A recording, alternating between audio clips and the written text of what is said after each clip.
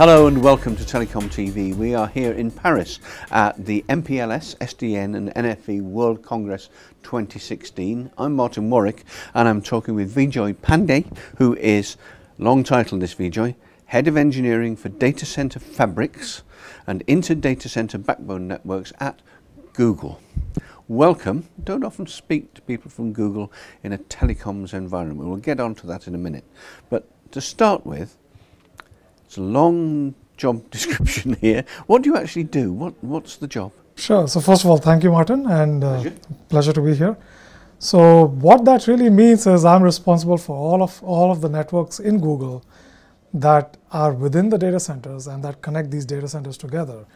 And to us, that pretty much is defining our scope of a data center. So it's not just limited to a single geographical location, but it's a global data center. So anything that sits in between, whether it's inside the building or outside of the building, falls in that category.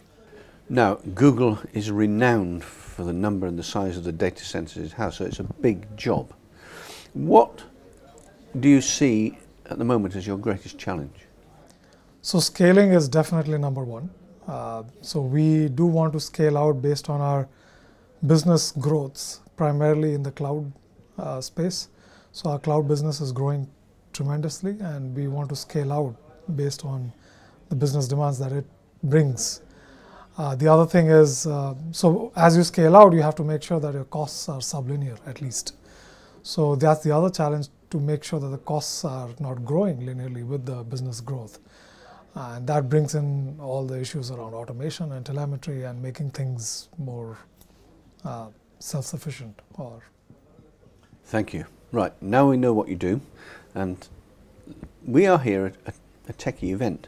Everybody in the place is a techie.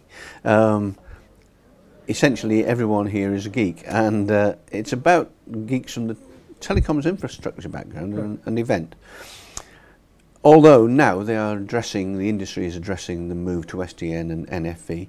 Do you think we should be surprised to see Google as a place like this and being a keynote speaker?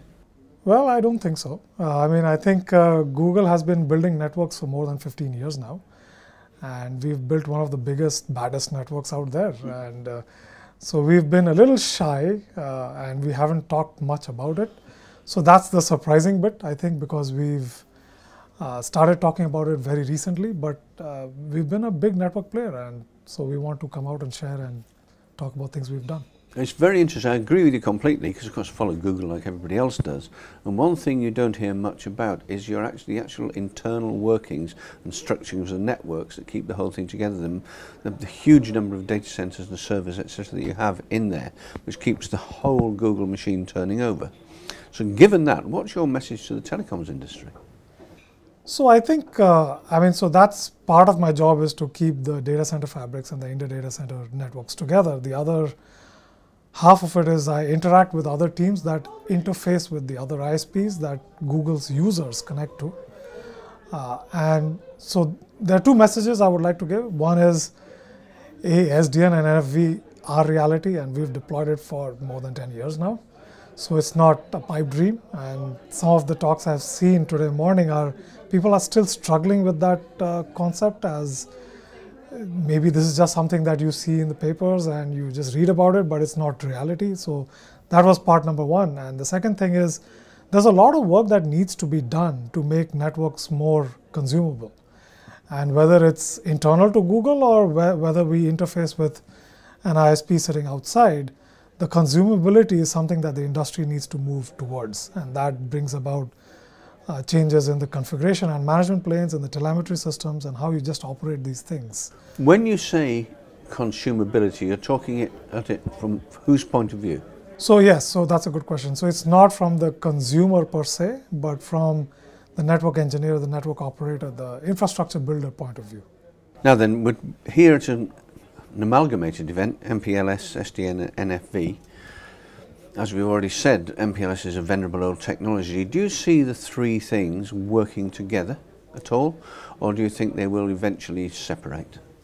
No, absolutely. I think they will work together. I mean, it depends on how you treat each one of them. Uh, these technologies, I mean, they're all tools in the basket, and mm. how you use them to build your network is up to you uh, as, as a network operator per se. Uh, for us, especially, I mean, we've used MPLS primarily as an encapsulation mechanism. Sure. So, whether we end up using the protocols and the baggage that comes with it is a choice that we make. And there are some parts of the network that we do use that entire stack. There are other parts of the network that we are just using MPLS as an encapsulation mechanism, and we use SDN controllers along with it. Uh, it's interesting to hear, though, Vijay, that even after all these years, it's still a viable and useful technology in more ways than one. Yes, that is true. I mean, I think a couple of the reasons are that it's it's a pretty straightforward, uh, conceptually straightforward piece of technology, mm. and like I said, coupled with SDN controllers that might sit outside, it becomes pretty simple to build a network using this technology. Plus, like I mentioned earlier, there are parts of the network that do have to interface with other ISPs. And if there is an MPLS mesh, LSP mesh, we do need to interoperate with that as well. So it is an important piece of technology. Thank you. Can we move on to something else, which is the, the concept of open and openness that goes hand in glove with NFV? Um, as a result of the openness, as we, as you know, as we know, what happened is that the service providers and operators around the world said we've been locked into particular vendors for a long time now. This is a new technology. We like it. We like SDN We like NFV.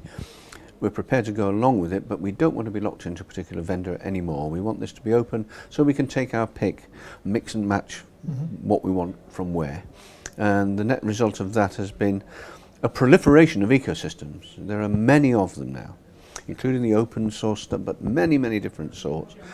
And what I speak to people a lot about this, and I speak to um, service providers about it, and they're getting a bit confused about how they're going to, who and how they're going to choose as a transformation partner, given that there are so many players involved. What do you make of that? Is it, is it making life difficult? So I can give you a perspective from Google's point of view, mm. and it that was one of the bigger reasons why we opted to do things in house. And I do understand that not everyone has uh, the appetite to do that. But the confusion in the marketplace was one of the biggest reasons where we decided to just take matters in our own hand and build the software stacks around NS, NFV and SDN. But I do see that being a problem for the community. And if it's, I would say, it's uh, a message out to the vendor community more than anything else to pretty much get their act together and converge upon a few strategic, uh, I would say, groups uh, that uh, will deliver NFV and SDN solutions moving forward. Otherwise, this will be a long tail and it'll just disappear. And people and vendors, I mean, operators who can build it themselves will emerge as the clear winners, but everybody else will be left to compete on their own, which is not a good thing. Uh, what about standardization within NFV, NFV NV with, again, there are a lot of standards bodies out there, which is perhaps a little odd considering it's supposed to be open to start with. Same question again, ecosystem, standard systems. Do you think there are too many? So I think in terms of standardization, I mean, I'm a firm believer that uh, things should be developed and deployed and learned from and the standards can either come later or they can evolve along with it. Uh, that's why I think the open source piece is so critical uh, because you can try things out, you can build stuff and deploy it and learn from there instead of trying to build a standard from nothing, from scratch. Uh, but even having said that, I think uh, the open source community is also proliferating quite a bit and is fragmenting, and that's not a good place to be in. I mean, I was one of the founding members of Open Daylight, back in the yeah. back in the day, around yeah. three years ago at yeah, this point. I remember it, yeah. And I think uh, so between ONOS and ODL, and there's confusion in everybody's mind as to where to go. We do need to converge, and we do need to work towards use cases that are important. I mean, I just gave a talk where we showed four critical use cases that we've deployed SDN towards, and I'm sure those problems are problems will sound familiar to everyone in the operator community. So uh, the open source community has to go after these use cases and similar use cases and actually solve the problems and make it a little bit more usable. I mean, that's the other thing. I mean, open source code should not be let me write something and throw it off the wall and it's up to you to, to mm. figure it out. So there has to be some rigor, and that's where I think some communities that do interoperability testing and certify things based on tests become crucial. Thank you. Last question to you. NFV burst onto the scene three, three and a half years ago now and was heralded as being you know, the ultimate game changer as far as networks are concerned. Uh, and no doubt it will be. Um, we've seen SDN and NFV go hand in glove, meet at, meet at infinity like two parallel lines. Um, but I hear from manufacturers and vendors that are getting a bit um, concerned that the move to commercial NFV networks is taking too long.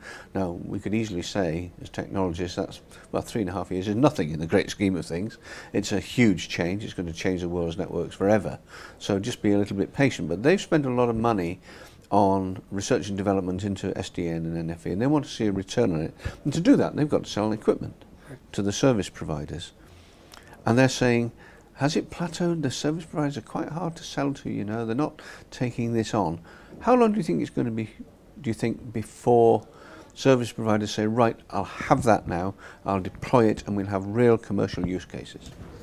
So again, here I would say, I mean, there are pockets of the network where NFV has actually been deployed already. And, Absolutely.